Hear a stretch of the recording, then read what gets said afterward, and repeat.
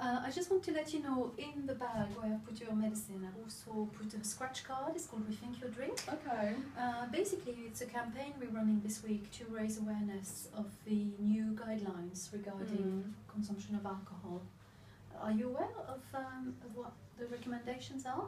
Uh, I think I saw something about it in the news a couple of months ago. Okay. Um, but I mean, I don't, I don't really know what units are. Okay. Yeah, most people are not really.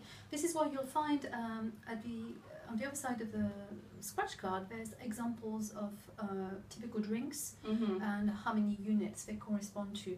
Recommendation is that people stay with 14 units a week and have a few days alcohol free. Uh, if you want more information, there'll be plenty more on the pavilion's website. All right. Okay. Yeah. Thank you very much. Have a lovely day. Cheers.